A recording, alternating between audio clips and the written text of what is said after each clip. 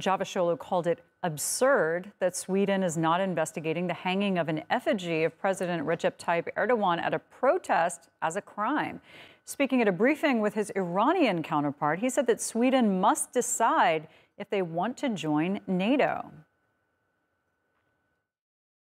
We all know the rule of law. This action is carried out by terrorists. Sweden promised to fight against them. They talk about freedom of expression. This attack is a racist provocation. They should answer if racism is a crime in Sweden or not. They should answer whether hate crime is allowed or not. No one should try to fool us. This constitutes a racist act and a hate crime.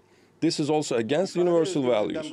It's a crime under international law. If Sweden thinks it can distract us with word games, it's deceiving itself. Either they will fall victim to these minds of terrorists, or we will move forward by applying the contract that we signed for the safety of all of us. This is Sweden's choice.